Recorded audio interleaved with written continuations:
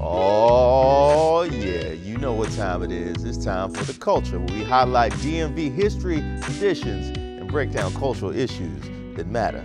This week, Michael Quander is giving people who move to the city the tools they need to be a welcome addition to Chocolate City.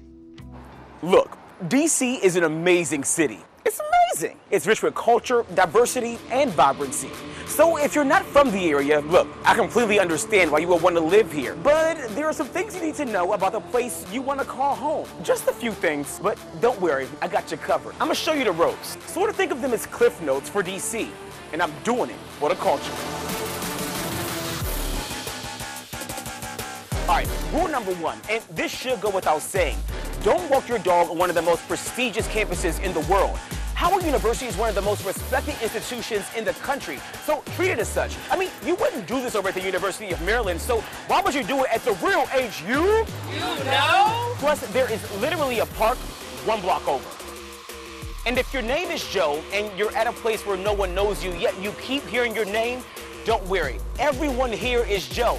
And if you're 26 and under, just change Joe to Mo, and the rule still applies.